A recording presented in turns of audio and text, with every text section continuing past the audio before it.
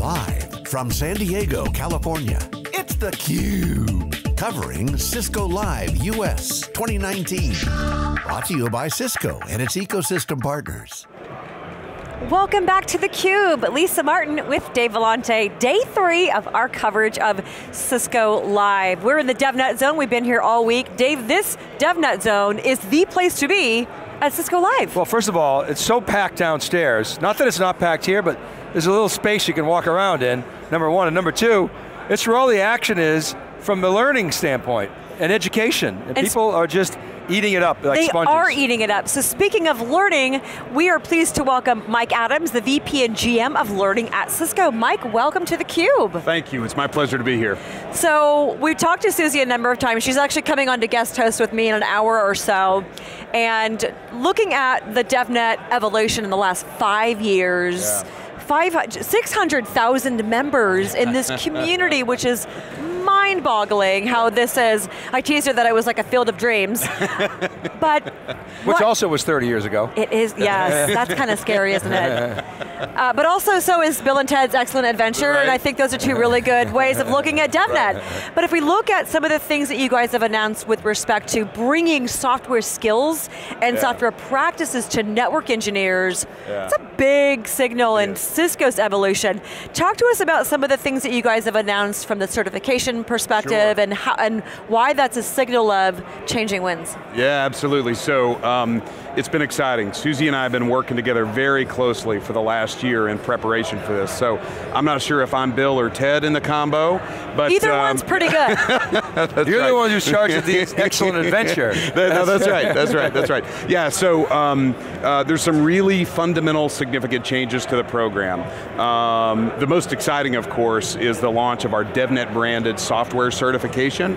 It's one of a kind in the industry. Uh, there is no other company who has the mix of network engineering uh, certifications and software certifications like Cisco does, certainly not at the scale that we do. We've trained, uh, we've certified over 1.7 million people since the program has launched over 25 years ago. And so you imagine the power of bringing together the community of developers with this community of network engineers that we've created. Um, uh, the sky's the limit, it's going to be amazing. So that's the biggest announcement is that launch of the software certification, DevNet certification. Um, we've made some other pretty important changes too, and all of these were based on the feedback that we got from customers and partners.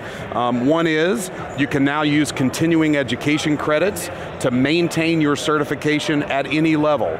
So um, rather than having to go back and retake the test every three years, now you can branch out and learn new things, like software as a continuing education credit to maintain that certification you have.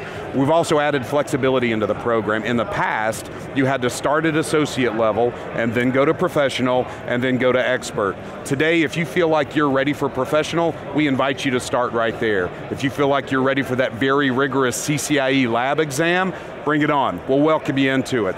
Um, but uh, we feel like that's going to give learners more of a choice in terms of how they process their learning and training and which certifications they want to pursue. So I could go on, I could go but, on. But you can, let's keep going. So yeah, you, yeah. you can essentially cut the line if you've had some field experience and or you just naturally have an affinity toward this. So well, that's, that's, right, and so if you have developed depth of uh, expertise and skill and experience, um, but you hadn't started the certification program, why would I make you go back and take an entry-level engineer exam just to work your way into the direction you wanted to go? Rather, we welcome you to, to come in and start where you feel like you're ready. Can you explain more, Mike, the, um, the continuous uh, certification education. Because if I, if I infer correctly, it used to be every three years you got to re-up, kind of like an EMT has right. to get recertified. Right. That, that's not required anymore, you can traverse across the portfolio? So, so I'll answer it very specifically. In today's program, the highest level, the CCIE, the expert level, that level can use continuing education credits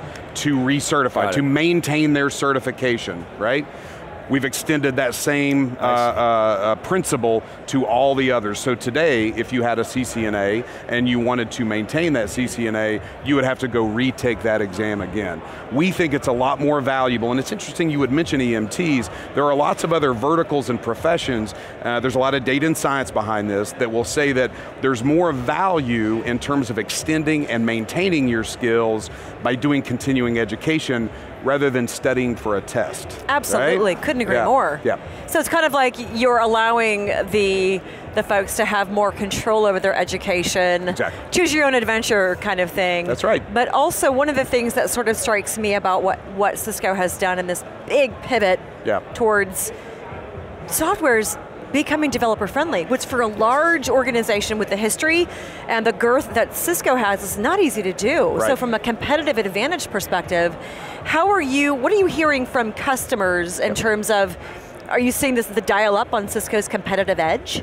Yes, absolutely, absolutely. So we, um, uh, we took counsel from, uh, from Gerri, our head of sales, uh, and she believes very strongly that the DevNet certification in combination with our network certification program gives us a real selling edge because it demonstrates the commitment we have to solving real world problems for our customers, and we know our customers are anxious to, um, to take advantage of what software on top of the network creates for them, to take advantage of those APIs, to build applications and programs that let them maximize the use of the technology as they compete in their own marketplaces. So yeah, we're absolutely hearing very positive things about how this differentiates Cisco, and I'll just add one more point even though we, the, it, it kind of looks like there's two tracks, there's a network engineering track and a, and a software track, that's really not the case. It's one certification program. As an example, at the professional level, to earn that CCNP, you have to take a core exam,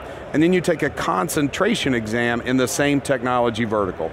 Data center, enterprise, collaboration, security, service provider, or DevNet. Interestingly, in each of the first five that I mentioned, you'll take the core exam and then the concentration can be a DevNet concentration. So we're inviting people to begin to add that software skills into the traditional network certification track that they've had. So I've seen, I wonder if you could help us understand the philosophy, Sure. Mike, of the, of the programs. Yeah. I've seen some education programs that's like, I mean, it's like a Chinese menu.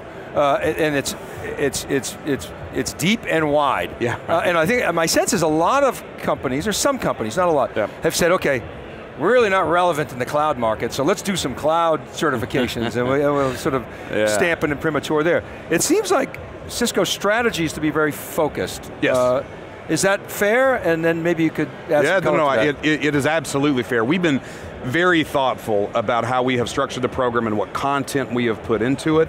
Um, we've been very mindful to focus on need to know information in the core exams, and then allowing the learner to choose concentrations for the nice to know, the things they want to round themselves out with. Um, but, but around uh, relevancy, um, we built the program with job role specific skills in mind. So as an example, we've been talking about it this week, a DevSecOps engineer is an example. They would maybe get their CCNP in enterprise, route switch, and then they could add onto that various uh, DevNet uh, uh, uh, concentration exams to earn them specialists that would mix that, whether it be WebEx or IoT, and then those combination of skills speak to a very specific job role, this DevSecOps engineer as an example. So there are other ways you can mix and match the components to create demonstrable capability around skills for a job. And I imagine as time goes on with these new certifications that you guys are going to be analyzing the different pathways yes. that each person is taking to understand, maybe looking at some some consistencies and maybe even offering some recommendation recommended got it. pathways. That's exactly right, because as those job roles evolve in the industry, we're constantly evaluating what skills are needed for those, making sure that we're bringing those to the market.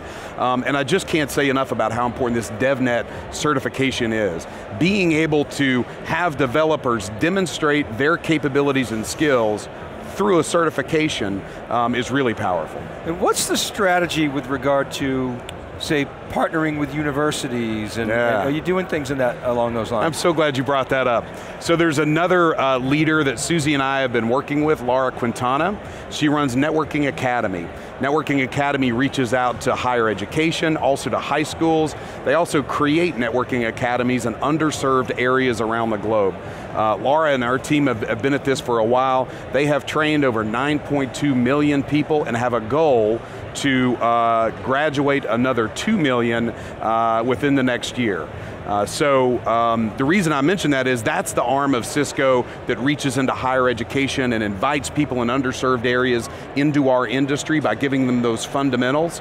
The primary certification that they graduate with is the CCNA, is that entry level engineer and now entry level software, DevNet associate, those are the, the graduation that they'll focus on uh, out of Networking Academy. And how so yeah, we do a lot of that. And how about the technology of learning? I mean, when you started this, whatever, almost three decades ago, there was MOOCs, you know, weren't around. This is a massive scale of, Yeah. of learning. How has the technology of learning evolved? Uh, massively, right? I mean, think about how you like to learn new things, right? Uh, Much of it is, is going to the web or finding some digital format and then doing it at your own pace. That's the other important thing here as well. So, yeah, we are massively transforming the way we're meeting our customers through digitized products. Uh, it's very important. And, you know, one of the other big announcements this week was the move from Cisco services to customer experience. You may have heard Maria Martinez on stage, day two. And uh, if you noticed, there were four main pillars to the CX strategy. One of them was learning, active learning. And so we know that by embedding learning and education into the digital products that we have and getting it to our customers just in time, and ideally by looking at telemetry coming back from how they're using our products, maybe I can predict what training you need before you even know you need it. That's where we're going. Awesome. Ah, very awesome. Last question for you, Okay. Mike. Cisco is a massive partner ecosystem. We've been talking with a lot of them this Yeah. week and at many events. How, what's to, to them, to your partners, what does the certification and this massive change signal to them in terms of Cisco's evolution? Well, I, I think it, it, uh, it absolutely signals where the company is going, our commitment to software, our, our commitment to continue to evolve and stay on the forefront of technology, giving them what they need to go serve their customers and make money in the meantime. Uh, our partner ecosystem is so critical to this company. Um, and so the software uh, certification as an example um, is going to allow them to demonstrate to their customers in a very quantifiable way how many DevNet certified engineers they have. Some of these partners have over a thousand DevNet members already, but wouldn't it be great if they can show that via certifications? So it's a real differentiator for them. And then I'll mention one other thing. We have a group of very strong learning partners that we work with that extend our capability globally, that are able to take the, uh, the content that we create and then form that to meet the needs of very specific customers. So there's another aspect of partners that are critical to this transformation. And, and uh, so you talk about partners then to your, to your customers, to the engineers. Yeah. You know, when I was at IDG, one of the most frequently read articles was the annual Computerworld salary survey, right? no. That's Now, that's not all about money, we know that, but you know what? If everybody's going to publish salaries, I'm going to look and see, all right, where do I stand? So That's right. that's part of it, right? You get more certifications, you're going to be It- worth more in the market. it is. We, we've got some really good data that says uh, what an investment in uh, professional or an expert level certification should do for your W-2 at the end of the year, and we, we, we're very mindful of that. Great. Yeah. DevNet bringing the street cred. Mike, right. it was great to have you in the program. I can only imagine how dynamic you and Susie are together. So I We have gotta- a lot of fun. I got to say that next time, but congrats on all the success. Thanks. It's been, it- it's palpable. Thanks. Cool Thank you. stuff. For Dave Vellante, I'm Lisa Martin. You're watching theCUBE live from Cisco Live San Diego. Thanks for watching.